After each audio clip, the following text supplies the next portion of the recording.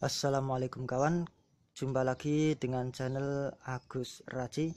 Kali ini kita akan mempelajari bagaimana caranya membuat foto bokeh dengan kamera Sony DSC H400 Yuk yang pertama kita nyalakan dulu kameranya. Setelah itu kita atur. Ini ada beberapa cara ya. Ada berbagai cara untuk mendapatkan foto bokeh dengan kamera ini yang pertama caranya kita pakai mode SCN untuk modenya kita pilih atur yang potret ya. Yang potret.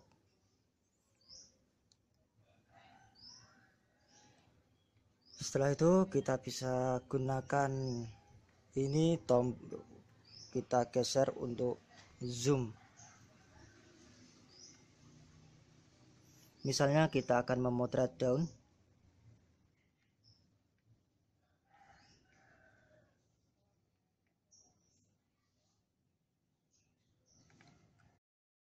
Lihat hasilnya adalah foto bokeh selain pakai SCN kita juga bisa menggunakan mode A lalu setelah itu kita bisa sesuaikan kita pencet tombol tengah ini ya.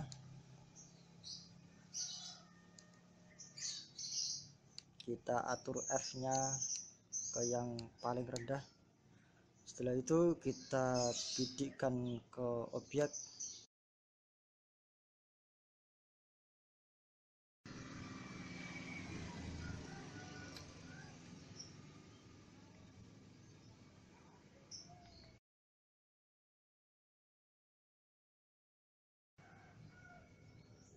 hasilnya